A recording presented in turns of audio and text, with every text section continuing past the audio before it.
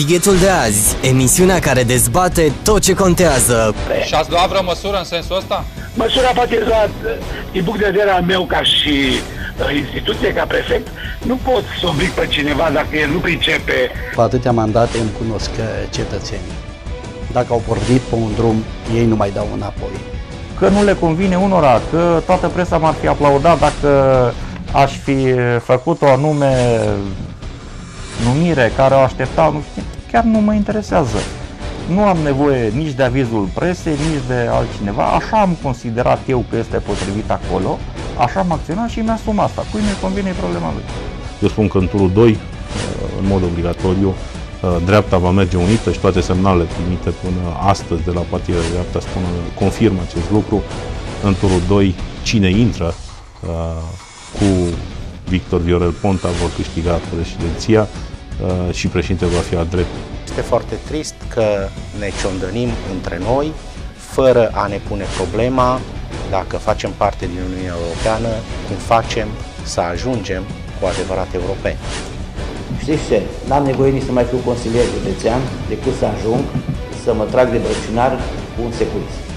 Este cinstit să fiu un consilier obscur Sighetul de azi, emisiunea care dezbate tot ce contează cu Gheorghe Paul Sanislo. Bună seara, doamnelor și domnilor, și bun găsit la o nouă ediție a emisiunii Sighetul de azi. Vorbim astăzi despre ACL, Claus Iohannis și despre lansarea care va avea loc uh, sâmbătă la București cu invitații mei din această seară, doamna Anișoara Mihali, membru ACL Sighet. Bună seara și bine ați venit! Bună seara și bine v-am găsit! Și Petre Tomșa, copreședinte al uh, Alianței Creștine-Liberale Sighet. Bună seara! Bună seara și bine v-am găsit! Da, sunteți într-o formulă, aș spune eu, uh, mai nouă pentru telespectatorii noștri. Probabil că deja de la ședințele de partid uh, s-au obișnuit uh, cu dumneavoastră toți membrii, dar la televiziune nu știu dacă ați mai apărut în formula aceasta. Înainte de a vorbi despre subiectul pe care l-am anunțat, totuși aș vrea să vă întreb cum vă simțiți în noua formulă politică și la nivel de Sighetul Marmației cum decurg ședințele și uh, unde sunt ședințele de la acele Sighet, domnule Petre Tomșa? Da, vă mulțumim de întrebare. Este o întrebare frumoasă, care ne place și nouă. Suntem partidii de dreapta, ne regăsim uh, în statutul partidului atât uh, PDL-ul cât și PNL-ul. Noi am hotărât ca Alianța Creștin-Liberală creștin, liberală să funcționeze la Sighetul Marmației în sediul PNL-ului, având un sediu la parterul clădirei și având un mai spațios, am hotărât ca organizațiile și ședințele să se adune la acel sediu al PNL-ului, Sighetul Marmației. Da. Cum decurg ședințele, doamna Anișoara Mihali?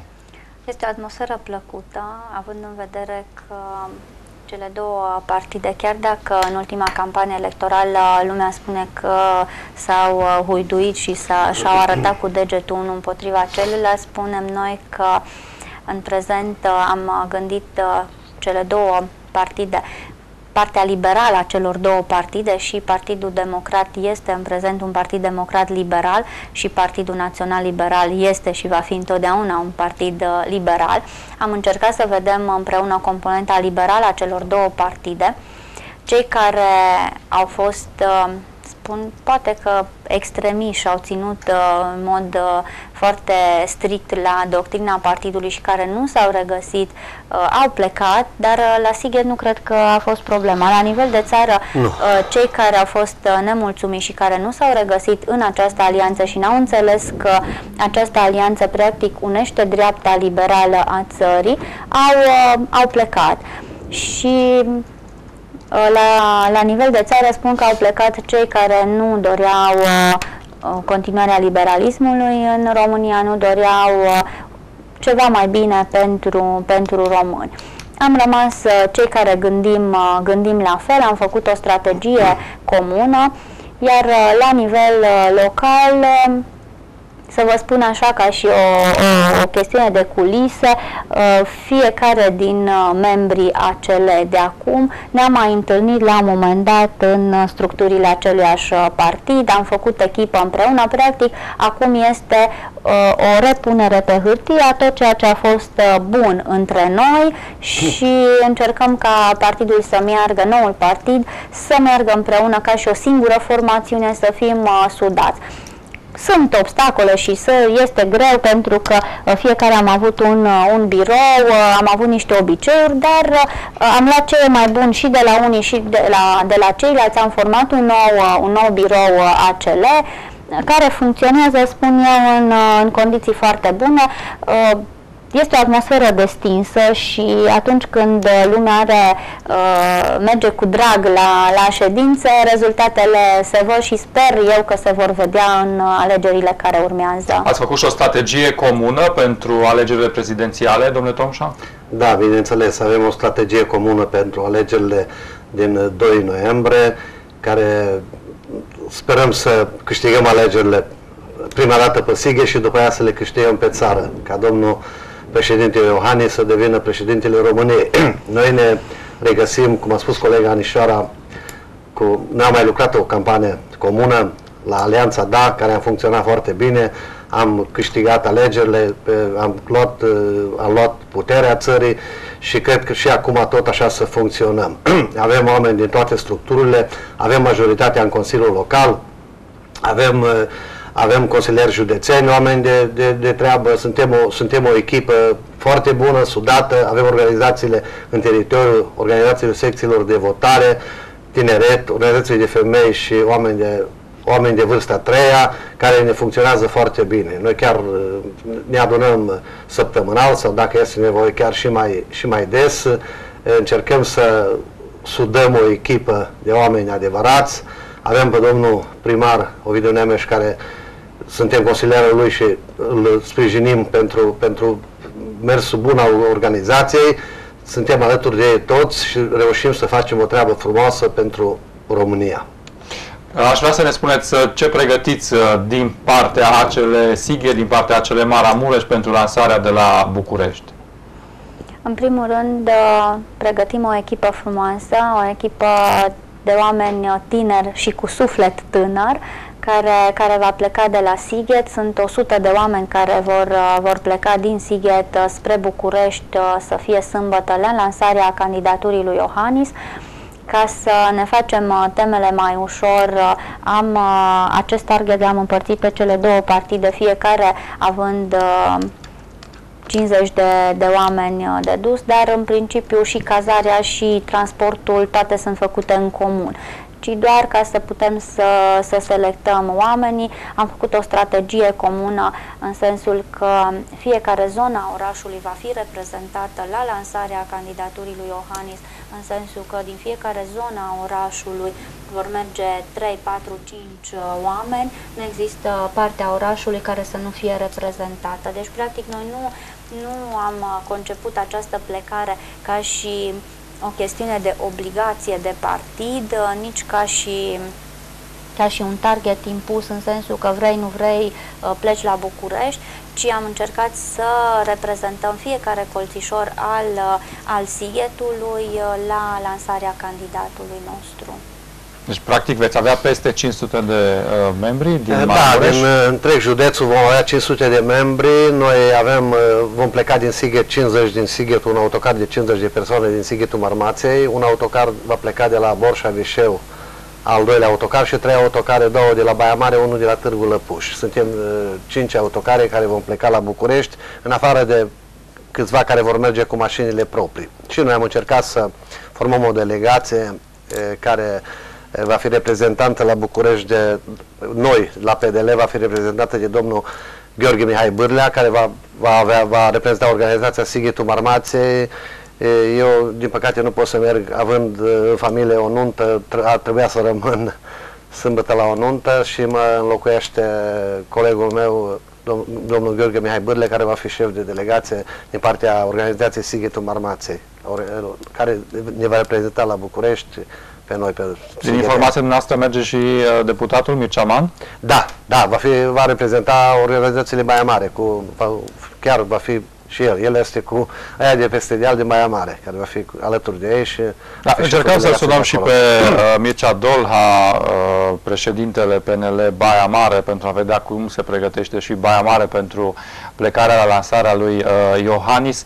Până atunci v-aș întreba și despre părerea dumneavoastră privitor la lansarea care a avut loc uh, în urmă cu o săptămână, cea a lui uh, Victor Ponta, principalul contracandidat al lui uh, Claus Iohannis.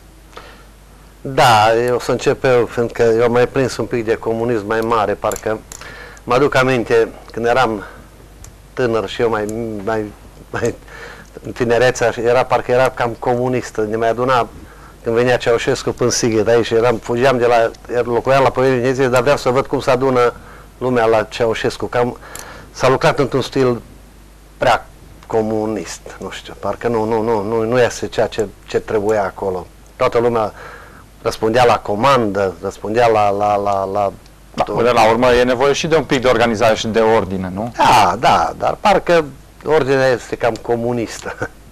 Văzând și culoarea roșie, este o culoare care nu-mi place mie, vă spun că eu m-am gândit odată, eram consilier local și am propus într-o ședință de cons- Consiliul Local să schimbăm și semafoarele în Sighet, să nu mai fie roșii, că eu atât urăm culoarea aia. Doamna Nișoara Mihali, să-ți lansezi candidatura de ziua ta e puțin comunist sau uh, e, să spunem, doar o formă de a-ți venera conducătorul uh, partidului?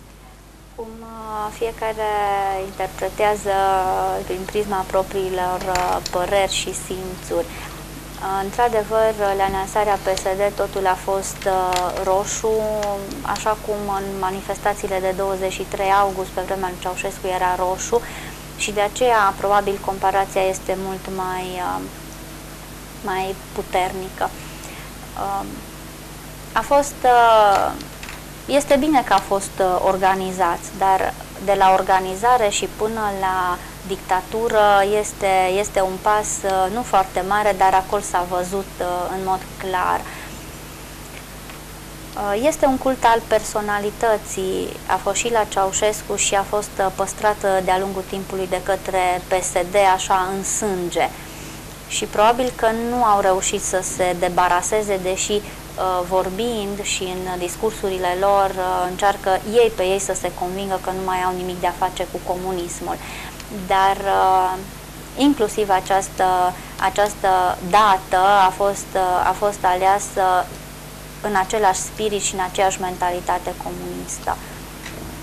Da, uh, îl avem și pe deputatul Mircea Dolha în uh, direct, dacă mi se confirmă informația din uh, regie, președintele PNL Baia Mare. Bună seara, domnule Mircea Dolha, Da, bună. dacă ne auziți. Da, vă aud. Da, uh, am să vă rog să dați drumul și în platou la sunet ca să ne auzim uh, și aici, să-l audă și invitații mei pe domnul uh, deputat Mircea Dolha. Se poate?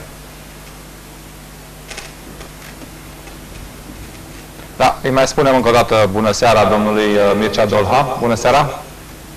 Da, bună seara dumneavoastră, invitaților și, nu în ultimul rând, celor care vă privesc și vă ascultă la această oră. Aș vrea în primul rând să vă întreb uh, cum se pregătește PNL Baia Mare pentru lansarea lui Iohannis uh, de la București. La fel cum cred eu că se pregătește PNL din fiecare județ și municipiu reședinte județ din România. Cu... Da, eu credeam că o să spuneți că vă pregătiți uh, mai uh, abitir decât celelalte organizații din uh, județ sau din uh, România. Păi, bineînțeles că ne pregătim mai uh, abitir decât celelalte organizații din județ pentru că suntem organizația cea mai mare, în primul rând, și în al doilea rând pentru că noi suntem cei care trebuie să ținem uh, standardul sus, pentru că suntem, uh, fidea, uh, suntem organizația unui municipiu reședinte de județ. Nu, vreau doar să vă spun că uh, suntem în uh, mare verb aici, ne pregătim pentru că nu e ușor să trimiți la București uh, 140 de oameni și trebuie să aibă uh, mijloace de transport adecvate. Unii pleacă cu autoturismele proprii, dar cei mai mulți vor pleca cu autocarele din Baia Mare. Uh, trebuie sandvișuri, trebuie apă și nu în 140 ultimul de rând, oameni uh, din organizația PNL Baia Mare, spuneți dumneavoastră. Da, de la Baia Mare, da. Asta înseamnă că am titrat bine, peste 500 de uh, aceliști maramureșeni vor pleca la lansare pentru că înțeleg că a fost uh, 250-250 uh, cifra pentru fiecare partid în parte. Da, a fost o surpriză plăcută pentru mine, ca președinte de organizație municipală, să constat că uh, sunt uh, foarte mulți colegi care au vrut să meargă și uh, pot să vă dau și câteva exemple și care au spus că vor merge cu autoturismele proprii. De exemplu, consilieri municipali, cum este Bota Călin, uh, Șerban Bondici sau uh, domnul Vasile Barbul, care se bine lucrează la primăria Baia Mare, ei au decis să meargă cu autoturismele proprii Uh, personale, iar uh, sunt uh, și alții, bineînțeles, dar nu putem să găsim, fiind foarte mulți să nominalizăm, iar cu autocarele vor merge în special organizațiile de tineret, de, la UFL și oamenii care nu au mijloace de transport. Da, ați pronunțat numele lui Vasile Marcel Balbul, care a fost, dacă nu mă înșel, și un fel de city manager la primăria Baia Mare. Este el membru ACL? Da, este membru PNL, unul dintre cei mai vechi. Membru deja din 2001. Deci are, sau 2000 chiar, are 14 ani vechime. Da, sunteți sigur de această informație? Sunt foarte singur, sigur. Deci este membru PNL. Deci dânsul este membru PNL. Mă întreb dacă știe și primarul uh, Cherecheș despre asta, dar trecem peste situația respectivă. Aș vrea să vă întreb dacă dumneavoastră personal v-ați decis până la urmă să intrați în greva foamei sau nu. Aveam ieri o știre cu dumneavoastră privitor la situația din uh, Parlamentul României. Nu aș vrea să nu punctez și eu puțin la ceea ce a spus ultima dată. Domnul primar Cătălin Chereche știe foarte bine că și domnul Vasile Barbu este membru PNL, pentru că și primarul Cătălin Cherecheș a fost chiar de două ori membru PNL, dar din păcate de două ori a fost dat afară din partid. Uh, revenind, revenind însă la lucrurile astea mai serioase, vreau să vă spun că în acest moment în Parlamentul României asistăm la un derapaj grav uh, al democrației și anume uh, faptul că un coleg de-al nostru, dar până la urmă un om, pentru că mai contează funcția în chestii din acestea, un uh, coleg de nostru a intrat în greva foamei, fiind astăzi în a noua zi. A noua zi. Și în cele nouă zile nu a discutat cu el nimeni din partea Guvernului României sau din uh, conducerea Camerei Deputaților și de aceea mai mulți colegi din uh, Comisia pentru România de Petutindeni am uh, fost foarte revoltați pentru că e un deputat tânăr de diaspora, el provine din Spania, și luptă pentru drepturile românilor din afara granițelor României. Dorește un lucru pe care l-am dorit și eu ca și co-semnatar al inițiativei parlamentare, dar și alți 48 de parlamentari, dorim uh, de fapt să scădem taxele consulare pentru românii de afara granițelor României. Uh, acum, ce vreau să spun? Că taxele sunt foarte mari, știe oricine trăiește în afara României. Că românii din afara granițelor României trimit foarte mulți bani anual și mă refer aici la uh, cifre uh, enorme, eu pot să vă spun cu siguranță că nu greșesc, sunt cei mai importanți investitori ai României, sunt culmea românii care lucrează în afara granițelor și nu companiile multinaționale care vin, pentru că românii din afara granițelor României aduc în țară oficial, conform datelor furnizate de BNR, peste 3 miliarde de euro, atenție, peste 3 miliarde cifre oficiale și eu aș spune că cel puțin încă pe atâta neoficial, pentru că știți foarte bine, sunt români care trimit acasă bani pe cunoscuți, pe curierul ăsta rapid, pe tot felul de microbuze și așa mai departe. Ei, vreau să spun că acești oameni merită să fie băgați în seamă și să fie respectați de către statul român și nu să li se ceară sute de euro pentru orice act ar avea nevoie, de exemplu un certificat de naștere pentru nou născut, uh, uh, spre schimbarea pașaportului, tot felul de apostile sau anumite uh, acte autentificate și așa mai departe. Despre de, de, de asta era vorba. Cu bucurie însă constat că în urma demersului nostru, demers care a fost uh, alimentat de mai mulți factori.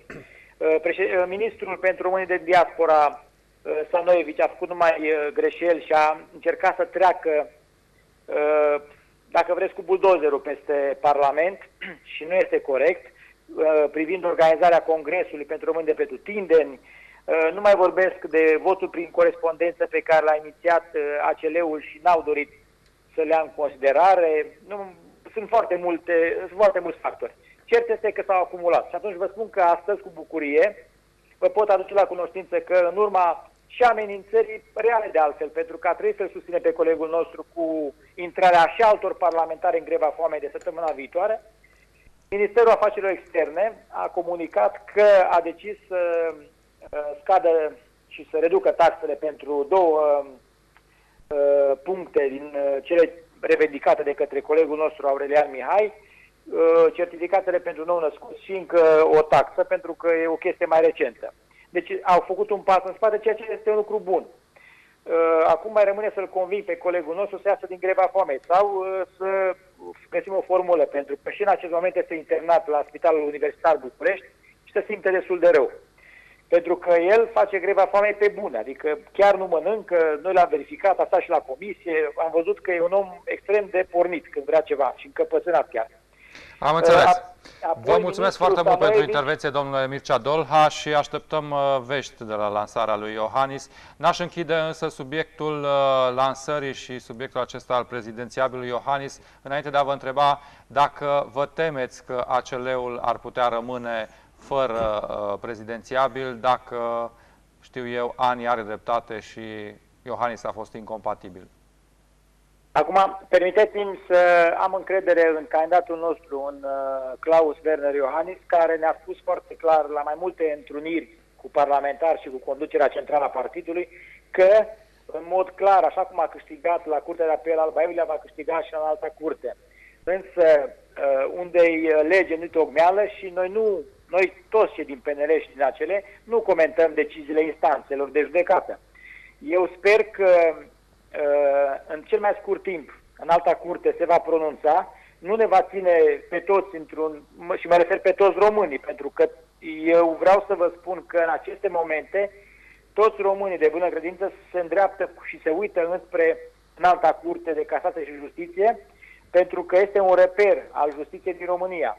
Și așa cum spunea și domnul Ioanis, e necesar să se clarifice cât mai gravnic dacă asta uh, trebuie, Uh, această, uh, acest dosar, până la urmă, al ANI, ANI care, de-a lungul timpului, am văzut că uh, în momente cruciale pentru destinul unui om, că e vorba de un ministru, că e vorba de un candidat la europarlamentare, vedeți asta chestia cu Mircea Deaconu, da?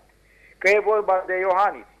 Atunci când uh, culmea e cel mai important că omul acela se duce în alegeri, intră și încearcă să răstoarne Uh, cursul normal al democrației. Nu comentăm ce va uh, decide instanța, dar până atunci dați-mi voie să spun că totuși dorința aceasta și cerința pe care o are uh, ANI este destul de mult cu sută coață, dacă vreți roșie, nici măcar albă. Da. Vă mulțumesc foarte mult pentru intervenția domnule Mircea Dolha. Facem o scurtă pauză de publicitate și ne întoarcem.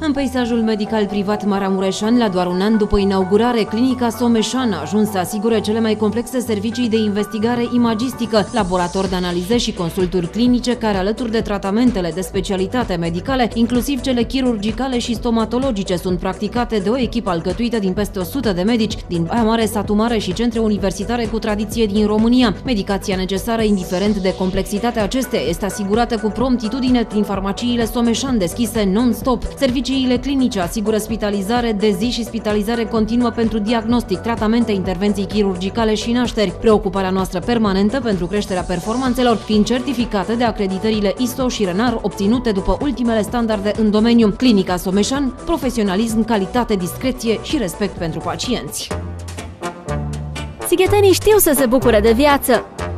Cu produsele Ghita te bucuri de o masă gustoasă. Dacă nu ați gustat încă din produsele Ghita, e timpul să o faceți! Am deschis în Sighetul Marmației un nou magazin pentru dumneavoastră! Situat în cartierul Unirii, lângă sensul giratoriu, magazinul Ghita numărul 3 vă așteaptă cu produse proaspete din carne. La noi găsiți produse foarte proaspete, aromate, condimentate, într-un cuvânt, savuroase. Ghita, gustul calității. Vrei să vezi toate meciurile din Liga 1 în următorii 5 ani? Iați pachetul Extra Fotbal de la UPC la numai 10 lei pe lună TV inclus. Intră pe extraupc.ro, sună la 0800 00872 sau vino în magazinele UPC. Dacă nu ai reușit încă să îți găsești gresia și faianța mult visată pentru locuința ta, acum ai ocazia prin Showroom Veneția. Îți sună bine? Trebuie să și vezi, după care te vei convinge. Showroom Veneția îți oferă peste 100 de modele de gresie și faianță în cele mai frumoase culori și combinații. Pentru ca luxul să fie complet, comercializăm obiecte sanitare de la A la Z. Fie baie, bucătărie sau hol, orice încăpere plin de viață cu produsele achiziționate de la noi. Vindem și parchet laminat produs în Germania, cum doar la noi găsești pe piața locală. Ne gândim și la exteriorul casei. Vino să vezi cele mai frumoase modele de piatră pentru soclu și gresie de exterior pentru trepte. Vizitează-ne! Sighetul Marmației, piața 1 decembrie 1918, bloc B4, lângă caseria TV Sighet. Telefon 0748 533 977 A venit toamna, trebuie să zugrăvești, să vopsești, să repari și să faci curățenie. Magazinul la blocul Turn te așteaptă cu tot ce e mai bun și mai ieftin pentru casa ta. Vopsele lavabile și alchidice, adezivi, var, ipsos, ciment, damigene, bidoane și alte produse din mase plastice, feronerie, unelte și scule, produse pentru baie și bucătărie, detergenți, mopuri, perii și mături. Toate acestea la cele mai mici prețuri din oraș. Lângă magazinul nostru ai la dispoziție și magazinul de instalații electrice și corpuri de iluminat. Tot ce ai nevoie pentru casa ta la blocul Turn. Te așteptăm să vezi produsele și prețurile ca să te convingi. Toamna se numără prețurile mici la magazinul chinezesc. Ai de unde alege. O gamă largă de produse de la îmbrăcăminte până la produse pentru casă, haine pentru femei, bărbați, copii, încălțăminte și în această perioadă chiar și rechizite pentru școală. Mai mult decât atât, la magazinul chinezesc poți să-ți cumperi veselă, lejerie de pat, jucării, plapume și foarte multe articole, toate fiind la prețuri extrem de mici. Magazinul chinezesc din Cil vis-a-vis de piața rușilor, locul unde toamna se numără cele mai mici prețuri.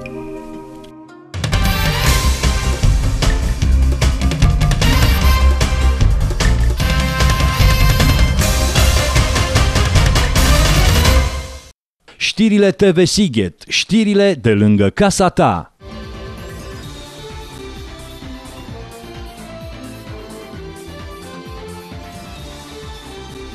Sistemul de gospodărire a apelor Maramureș a rămas fără conducere, nemulțumiți de felul în care a gestionat situația în timpul inundațiilor petrecute la finele săptămânii trecute în județ, reprezentanții administrației bazinale de apă Someștisa l-au demis pe directorul interimar Ioan Podar.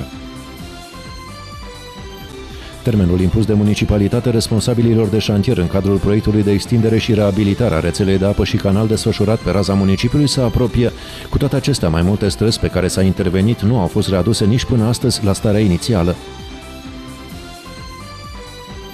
Un magazin din Baia Mare, în incinta căruia funcționează și o casă de amanet, a fost călcat de hoți în toiul nopții. Aceștia au furat 3500 de lei și s-au făcut nevăzuți. Polițiștii nu au găsit niciun geam spart și nici urme de forțare a ușii. Sighetenii care nu și-au plătit taxele și impozitele locale pentru al doilea semestru al acestui an mai au timp să facă acest lucru până în 30 septembrie. Cei care nu se conformează riscă să fie penalizați chiar din prima zi a lunii octombrie.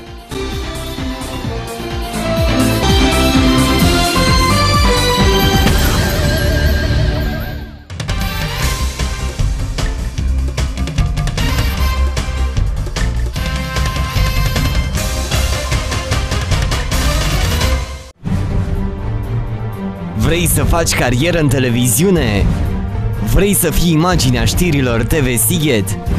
Trimite un CV plus poză pe adresa officearondtvsighet.ro și poți face parte din echipa de știri TV Sighet. Știrile TV Sighet, știrile de lângă casa ta, te așteaptă! În curând vom stabili împreună care este nunta anului 2014 în Maramureș. În curând la TV Sighet, emisiunea Miri Maramureșului. Dacă te-ai căsătorit în 2014 sau te pregătești să te căsătorești, intră chiar acum în cursa pentru trofeul Miri Maramureșului și pentru marele premiu în valoare de 3000 de lei. Înscrie-te acum în competiție pe www.mirimaramureșului.ro Miri Maramureșului, idei și parteneri pentru Casă de Piatră.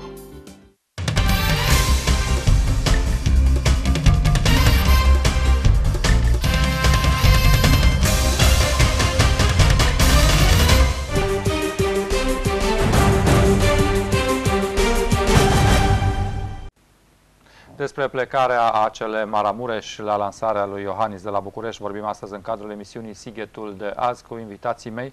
În alta curte de casație și justiție a stabilit primul termen în 25 septembrie în dosarul de incompatibilitate a lui Claus Iohannis, în care Curtea de Apel Alba Iulia a anulat raportul Agenției Naționale de Integritate, instanța supremă urmând să ia o decizie definitivă. Însă, iată că 25 uh, septembrie, adică exact data de astăzi, a trecut, putem uh, considera, la această oră și se pare că nu s-a luat uh, nicio decizie în acest sens. Din potrivă, s-a amânat pentru 30 septembrie, în primul rând, admiterea contestării pe care a depus-o ANI la decizia Curții de Apel Alba Iulia, Asta înseamnă că ne apropiem și mai mult de data uh, începerii oficiale a campaniei electorale și cu atât mai mult există riscul ca dacă Claus Iohannis va fi uh, declarat incompatibil să nu poată candida, iar ACL-ul să rămână fără candidat. Este un scenariu care e, să spun, propovăduit foarte mult de către adversarii dumneavoastră uh, politici. Ce părere aveți despre acest uh, subiect, doamna Nișoara Mihali? Este un, doar un scenariu pe care l-au vehiculat adversarii politici tocmai pentru că se tem de candidatura lui Iohannis. Dacă Iohannis nu ar fi un uh, candidat uh, pertinent și dorit de către popor, în jurul lui nu s-ar fi vehiculat atât de mult acest uh, dosar ani. Într-adevăr, astăzi, în alta curte a amânat pronunțarea asupra admisibilității în principiu a recursului în dosarul intentat de către ani președintelui Claus Iohannis, însă uh, verdictul probabil că se va da pe 30 uh, septembrie dacă nu se va amâna și de această dată. Oricum, uh, eu sunt, sunt convinsă că hotărârea Curții de Apel Alba Iulia va rămâne, va rămâne în picioare, motivarea de acolo este, este solidă, argumente juridice sunt suficiente pentru a menține o asemenea hotărâre. Uh, mai mult, uh, ceea ce îi se aduce ca și acuză lui uh, Iohannis ar fi fost faptul că într-o perioadă destul de îndepărtată, acesta a fost membru în Consiliul de Administrație la o societate furnizare de servicii, apă și canal în Sibiu, în același timp în care era și primar al municipiului. Se știe foarte bine că la nivel de țară majoritatea primarilor și a consilierilor, a președinților de consilii județene și a uh, consilierilor județeni uh, se află în aceeași, uh, în aceeași situație. Uh, legea este, uh, este aplicată în, în, în cazul lui Iohannis în mod strict, au fost verificate exact toate aspectele legate de ceea ce a făcut în uh, funcția pe care a deținut-o și uh, dacă s-au adus unele prejudicii bugetului uh, local al primăriei Sibiu. Eu spun că și atrag atenția adversarilor politici că în continuare au un contracandidat în persoana lui Iohannis și că în campania electorală cel puțin subiectul incompatibilității lui Ani va fi închis urmarea soluției date de către înalta curte. Deci eu am uh, toată încrederea în uh, judecătorii în alte curți că vor da o soluție legală și că uh, nu va afecta campania electorală.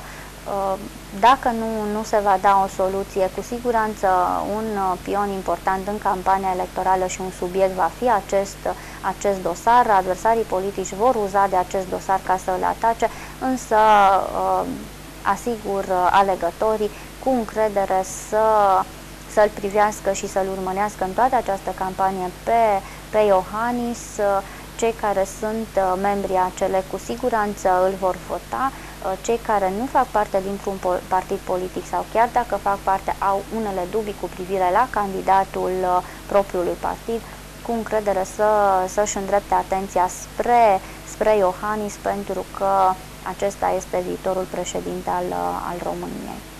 Da, nu luăm în considerare acest scenariu, nici nu există, spune Claus Iohannis, în urmă cu vreo două săptămâni la Brașov, dar probabil că va fi un subiect de campanie. Un alt subiect, să spun, foarte mult disputat și discutat pe seama al candidatului acele Claus Iohannis, domnule Tomșa, este cel al celor șase case care uh, se presupune că le are sau că, mă rog, în familie uh, averea ar fi undeva la șase case plus multe alte uh, bunuri. Ce părere aveți despre acest uh, subiect? Comparativ, să spunem, cu poate celălalt uh, contracandidat, uh, și anume Victor Ponta, care nu știu câte case are, dar până la urmă, dacă ne batem în case, cum, uh, cum ar trebui să fie? Eu cred că nu este cazul să accelerăm pe cele, casele acelea lui domnul Claus Iohannis, pentru că mulți români au mai multe case și dacă s-au acumulat uh, de la părinți, de la bunici, de la altcineva, s-au acumulat uh, ceva bogăție sau cât, cât este bogăția celor case care le are, cred că nu este un subiect care ar trebui discutat. Sunt uh, multe lucruri în România care sunt mari, mari patroni și mari bogătani care, de care nu se discută deloc și se vorbește de Claus Iohannis care două, trei, patru sau cinci apartamente dacă vorbim la nivelul de, cel puțin la nivelul Sighetului, avem zeci de oameni care au, au acumulat uh, Bine, vorbim da. în special de clasa politică. Acum, chiar sigur, de, se chiar spune la clasa... despre Claus Iohannis că avea, are șase case, dar uităm că până la urmă și Năstase avea case. Năstase avea mult mai multe. Avea mult mai multe case, mult mai multe bogății, mult mai valoroase, mult mai mulți bani și... Da, n-a sfârșit-o nici el bine, oricum. N-a sfârșit-o bine, nu din cauza caselor. Zic eu că ar fi fost mult mai rău dacă candidatul la președinție n-ar fi avut casă. Deci dacă pentru el nu poate să, să-și facă o casă într-o viață de om, nu cred că ar avea ce să caute ca și candidat. Bun, da, vorbim de șase case. Uh, chiar dacă este vorba de șase șase case, subiectul cred că a fost, uh, a fost atât uh, de dezbătut în această pre-campanie electorală și Iohannis, domnul Iohannis, eu zic, a dat niște explicații foarte clare și concrete. Este fizician, deci explicațiile lui sunt scurte, dar, dar foarte clare. A achiziționat imobilele într-o perioadă în care piața imobiliară era scăzută, prețul era, era mic, a achiziționat uh, aceste, aceste locuințe, nu, nu este vorba de case. Uh, Sintama a fost preluată din zona Bucureștiului, acolo toată lumea în momentul în care are o locuință spune am casă. În zona Ardealului o casă înseamnă să ai uh, în, în strictul sens al cuvântului casă și nu locuință, adică o casă la curte, cum spun bucureștenii. În cazul lui este vorba de două case și patru apartamente. Mi se pare ceva normal ca un, uh, un om care este gospodar, care uh, nu a agonisit și nu a investit în copii, pentru că domnul Iohannis nu are copii, deci nu a cheltuit banii cu educația copiilor, să își investească banii în ceva util, în ceva uh, vizibil, în ceva uh, palpabil, care uh, este și poate fi o sursă de venit oricând. Este o investiție uh, foarte bine gândită. Uh, din acest punct de vedere, putem avea încredere în domnul Iohannis că tot ceea ce va face pentru țară, va face exact cum a făcut pentru el. Deci va, va face investiții și va duce țara înspre lucruri bune, înspre lucruri care uh, vor folosi și în viitor. Nu este omul care să agonisească pentru moment, să aibă beneficii și uh, avantaje de scurtă durată. Este un om al viziunii, al viziunii pe o perioadă relativ uh, medie și lungă, nu pentru o îmbogățire uh, pe moment, care este... Da, un telespectator care ne urmărește uh, îmi scrie, vă rog să întrebați invitații câte case au, oh. locuințe. uh, din, uh, pot să verifice pe declarațiile de, de avere, însă acolo sunt trecute doar uh, locuințele pe care uh, le avem uh, în acte. Însă, în, în afară de ceea ce ce scrie acolo. Eu, de exemplu, uh, personal nu am imobile pe numele meu, însă eu locuiesc împreună cu mama mea, tata este, Dumnezeu să-l ierte, este decedat, dar uh, uh, avem uh, o casă și un apartament în, uh, în Sighet. Sunt uh, bunuri la care și eu am contribuit, uh, sunt uh, dobândite după ce eu am fost majoră, eu de la 19 ani muncesc. Muncesc cu carte de muncă, vorbesc, de muncit am muncit tot timpul și poate că este puțin, poate că la vârsta domnului Iohannis sper să ajung și eu la, la șase case. Le am dinainte de a fi consilier local și a intra în viața politică, este drept, și casa și apartamentul. Dar asta nu înseamnă că, indiferent de traiectoria mea politică, nu-mi doresc să achiziționez și alte, alte imobile care în timp, spun eu, o casă, un teren înseamnă, înseamnă un venit sigur oricând. Domnule Petre Tomșa. Eu aș putea să spun că nu sunt ca Iohannes, dar totuși am patru. am patru case, am două, una făcută de mine, una cumpărată și am două moștenite. Una de la părinții mei și una de la părinții lui soția mea. Avem patru case care ne bucurăm de ele și le-am Până la urmă, cred că dobândit, întrebarea nu era uh, una răutăcioasă, că poți să consideri uh, la un moment dat că e o normalitate faptul că ai mai multe proprietăți, ai mașină, că toată lumea muncește ca să aibă uh, ceva. Sigur, nu toată lumea are posibilitățile financiare de a realiza lucrurile acestea foarte repede. Dar, da, ajungând tot la Klaus Iohannis, eu aș mai completa un pic acolo. Noi ar trebui luat exemplu chiar pe toți primarii, toți gospodarii din România să-l urmeze, să facă ce a făcut Klaus Iohannis pentru Sibiu. A demonstrat că a făcut. Este un oraș european, un oraș care mulți, mulți și l-ar dori și cred că de aici ar trebui să plecăm că domnul Klaus Iohannis este un bun gospodar pentru un oraș și va fi un bun gospodar și pentru o țară ca România care are nevoie de un gospodar bun, e un om cu gândire bună, să nu uităm că este neamț, care de la neamț toată lumea învață și au, au ce învăța de la neamț și cred că ar trebui să schimbăm, să facem și altfel de politică, cu altfel de oameni, cu oameni mai, mai care să ne poată reprezenta în lume, să ne ajungem și noi ca români pe, să fim respectați în Uniunea Europeană și numai, de ce nu în toată lumea. Cred că Klaus Iohannes este un om care ne poate reprezenta, avem ce învăța de la el, s-a demonstrat că este un bun manager, un bun gospodar, este un om de calitate, un om cu omenie și ar, ar fi mult de completat care la alții lipsește și nu, nu, ar, nu au ce, ce are Klaus Iohannis. Numai un om gospodar, un om care muncește, care îi place să, să, să facă ceva, poate să adune în viață, poate să, să, să reprezinte uh, orașe, chiar și România la nivelul care trebuie să fie ea. Eu da, sunt numai puțin de 14 candidați la funcția de președinte al uh, României. Cum vi se pare, uh, să spun așa, numărul acesta 14? Nu sunt ei prea mulți, nu e o infuzie prea mare de candidați. Cum, cum explicați electoratului dumneavoastră că dintre toți 14 Iohannis ar fi cel mai bun și de ce n-ar fi, de exemplu, Elena Udrea, că ați fost până la urmă în același partid? Da, eu cred că Claus Iohannis ar fi unul dintre candidații cei mai buni și este cel mai bun pentru noi, care, a, a, mai, mai repet o dată, s-a demonstrat că este un gospodar bun.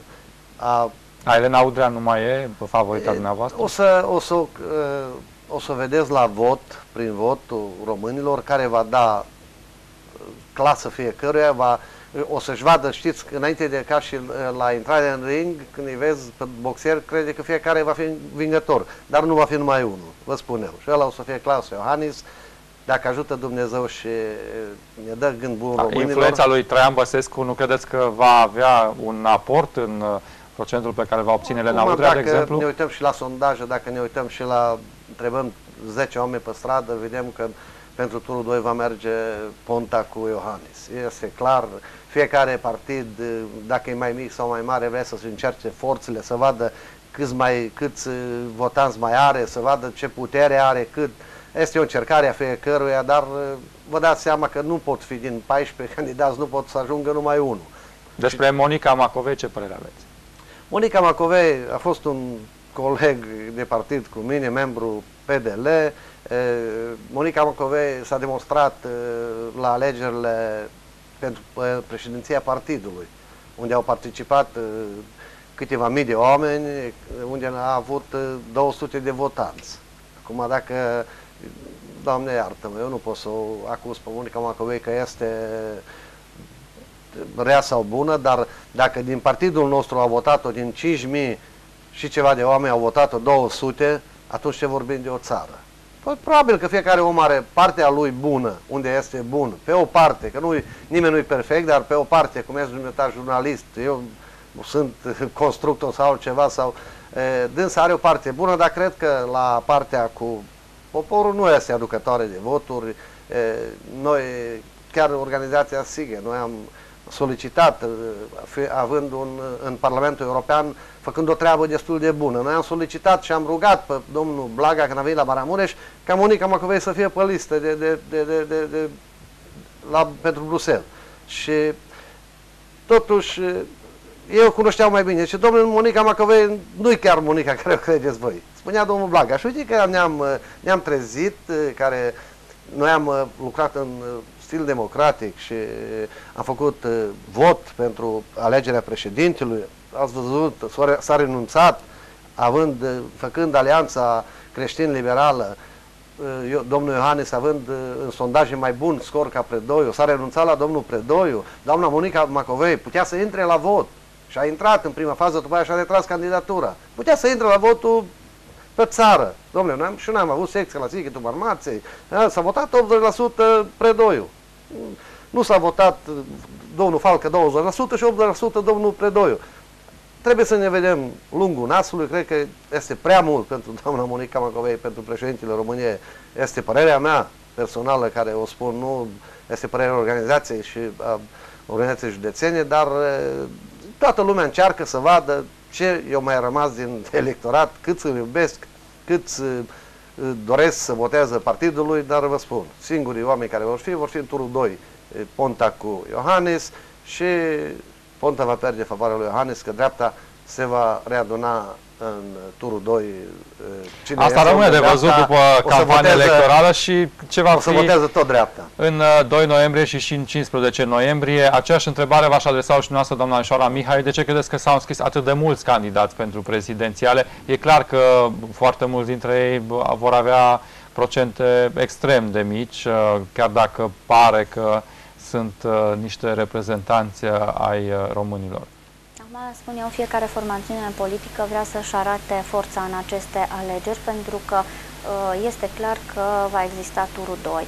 Fiind foarte mulți candidați, voturile se vor uh, împărți între aceștia și nu există uh, nici, nicio posibilitate ca vreunul din candidați să obțină din primul tur peste 50%.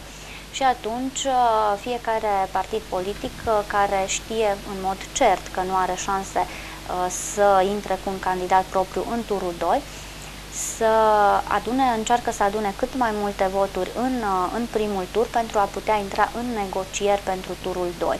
Pentru că toată lumea știe că uh, apartenența la un partid politic mare îți dă o forță și o putere mai mare și atunci și o alianță cu un partid mare și care este câștigător îți dă, îți dă o putere și un o speranță de a ajunge mai bine mai, mai departe. Și uh, acesta este motivul pentru care aproape fiecare partid politic din România și-a aruncat uh, în luptă un, uh, un candidat încercând să obțină un scor mai mare. Dar așa cum a spus și domnul, domnul Tomșa, indiferent de rezultatul din primul tur, dreapta, toate partidele de dreapta uh, vor, uh, îl vor vota pe, pe Iohannis în, în turul 2 și nu, nu nu neapărat toate partidele de dreapta, ci toți oamenii care, care gândesc, gândesc pozitiv și care nu vor să se întoarcă la trecutul comunist. Nici măcar ce, spun eu, nici măcar cei care, cărora pe vremea comunismului spun că le-a fost bine. Și celor care, care le-a fost bine în uh, vremea comunismului au uh, realizat până la acest moment că o democrație exercitată în mod uh, corect, uh, le aduce prosperitate și mult, mult mai bine. În legătură cu, cu doamna Macove, acum privire la Elena Udrea, nu știu dacă uh, s-au spus foarte multe pe post și, uh, și bune și rele și lumea o cunoaște. Au văzut-o și cred că fiecare om și-a format o părere despre, despre ea. Însă Monica Macovei uh, spun eu că a fost uh, membru PNL, nu și-a găsit locul în, uh, în PNL, a, a dorit uh, să acceadă mult mai sus, mai mult decât a fost susținută, s-a supărat, a plecat la, la PDL, unde a fost, a fost susținută de PDL ca și la început în, în PNL. Însă atunci când vrei mai mult decât poți și vrei să demonstrezi celorlalți că să-ți impui un anumit punct de vedere fără să ai susținerea oamenilor, nu ai ce să cauți într-un partid. Un om care nu reușește să-și adune în jurul, în jurul lui, în cadrul partidului, o masă suficient de mare încât să o susțină acolo unde vrea să ajungă, ar fi de, de preferat să nu încerce să ajungă. Monica n-a înțeles lucrul acesta uh, și-a urmărit propriul interes de fiecare dată, indiferent de opinia masei. Uh, Uh, care, care ar fi trebuit să o susțină. Suntem pe final 30 uh, de secunde, un răspuns și la întrebarea de ce n-ar vota românii uh, un independent în persoana lui Teodor Meleșcanu. Nu cred că domnul Meleșcanu va avea șansă să ajungă în turul 2, nici de cum. Uh, eu aș crede că totuși Claus Ioanes, și o să mai revin o dată să vă spun ce ne-a scăpat. Noi am adunat semnături prin cele trei corpuri, am pasat în Sighetul Marmaței, s-a demonstrat de către sigheteni că 6.000 de sigheteni au semnat pentru Claus Iohannis. Este un semnal foarte bun pentru noi, oameni simpli, oameni care n-au treabă cu politica, n-au treabă cu nimic, au stat și au dat buletinul și au semnat în stradă la, la corturile care le-am avut amplasate în municipiul Sighetul Marmaței peste, peste 6.000 de, de sigheteni. Este ceva de gândit n-am văzut un cor cu Ponta, n-am văzut un cor cu alții care au fost alături de noi sighetenii și le mulțumesc pe această cale care le-au, l-au, sprijinit pe Claus Iohannes pentru semnăturile pentru uh, președinția României. Doamna Nișoara Mihali, Teodor Meleșcanu, un independent, uh, are vreo șansă? Eu spun că nu are nicio șansă, pentru că în ziua de astăzi uh, a conduce o țară înseamnă a te implica politic. Parlamentul este antrenat politic, guvernul este angrenat politic și atunci uh, președintele țării trebuie să aibă o susținere politică. Într-adevăr, după ce ajunge președinte, orice persoană uh, este președintele tuturor românilor, dintre toți, indiferent de uh, apartenența politică sau la faptul că domnul Meleșcanu astăzi, va, în această campanie, va candida independent, deci neaparținând niciunei formațiuni politice, spun eu că este Claus Iohannis este omul care poate reprezenta toți cetățenii României, indiferent de apartenența. Da, argumentele, sigur, uh, sunt ale dumneavoastră, pentru că faceți parte și din uh, ACL. Poate unii dintre telespectatori, în schimb, uh, agrează ideea de a vota un independent. Ce șanse vor avea candidații, cei 14 pentru președinția României, vom afla la alegerile prezidențiale. Nu mai e mult până la campania electorală, care începe în 3 uh, octombrie.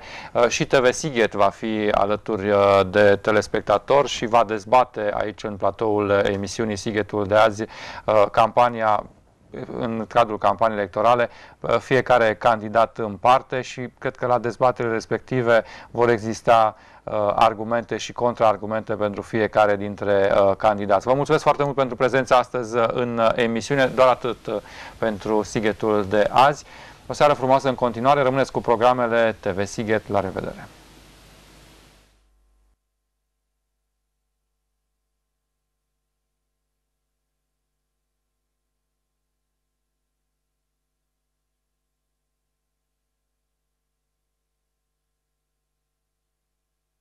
Sighetul de azi, emisiunea care dezbate tot ce contează.